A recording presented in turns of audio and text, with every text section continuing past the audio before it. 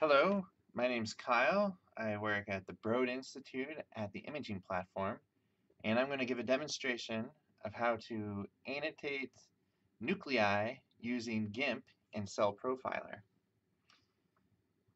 We're going to be following the tutorial, the annotation tutorial, which can be found at the CellProfiler GitHub tutorials repository. If you clone that repository and you look in the folder, uh, we're going to be annotating nuclei within this image, BBBC21 random. If we look at this image, you can see that this is a fluorescence image and it's a, a stain that uh, highlights uh, the nuclei and uh, some cytoplasmic material as well. So to annotate these nuclei in GIMP, first we need to open GIMP. We'll create a new file using this image. And uh, the most straightforward way to do this is just to drag the image into a blank GIMP window. This imports the image. We can uh, then adjust the image, the brightness and contrast so that the objects that we're interested in, the nuclei, can be clearly seen. We can adjust it further. You'll notice that there is an illumination gradient, at least the nuclei near the top of the image are not as clearly illuminated as those in the center and at the bottom. So we might have to adjust this in the middle of our annotation to make sure we can see the boundaries we're interested in. We also need to make sure that the image is in the right mode.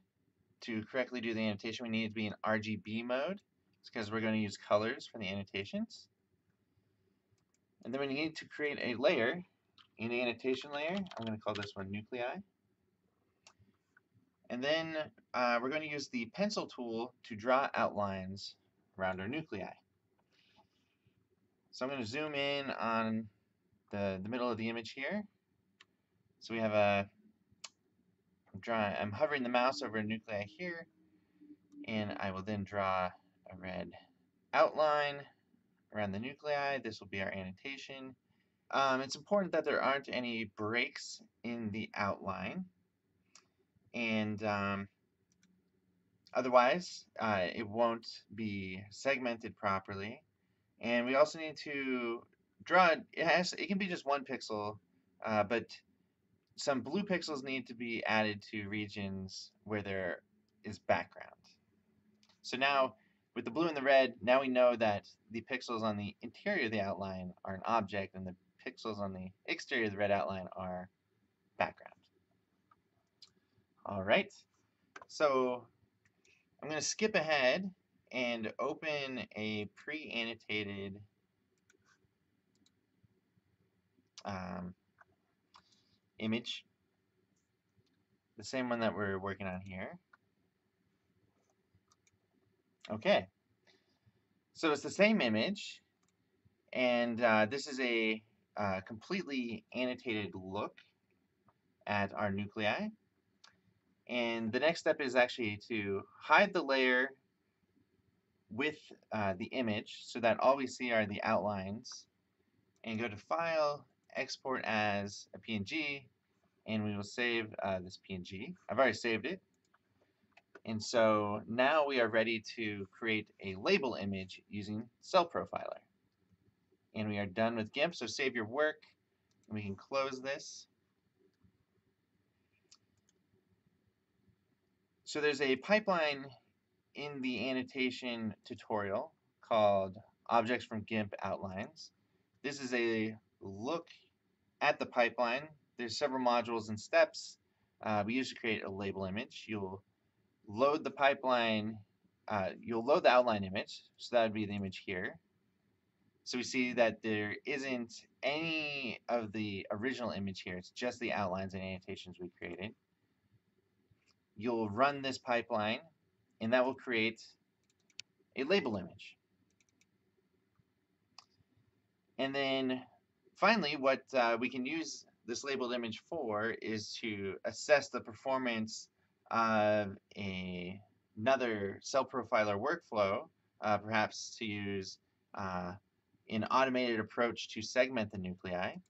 And so we have a demonstration of that pipeline here as well.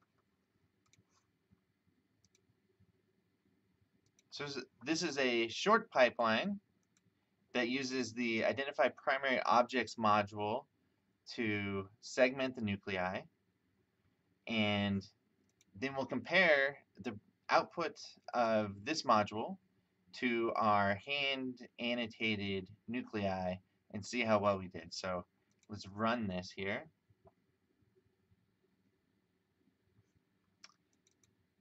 So here's our automated segmentation of this image. And you can see it does a pretty good job. Uh, some nuclei more resemble uh, what we see by eye than others. You can see it's a little fuzzy where uh, the boundary, you, we, this is uh, trying to segment nuclei from a stain that is not specific to the nuclei. And so um, you can see where it's having trouble uh, finding uh, this, this sharper boundary. And then we can assess the performance of this uh, using the measure object overlap module. And here we see in the upper left, uh, this is where our prediction overlaps with our hand annotated nuclei. In the upper right, this is the area of the hand annotations that were not uh, predicted from our automated segmentation. And as you can see, it's uh, our identify primary objects module is sensitive to the illumination and all the poorly illuminated cells near the top of the image were not uh, segmented at all. In the bottom left, uh, we have um, the prediction uh, subtracting the hand annotated, and you can see all the extra pixels the false positives uh, that were predicted, and you can see the stain not being nuclear specific, we're capturing a lot of signal surrounding the nuclei. And uh, finally, what we have here is this is uh, where the background of our uh, manual annotations overlaps with the background of our predictions, and we can see um, it mostly resembles the false positives, and uh, the the image is dominated by the outlines from our predicted module.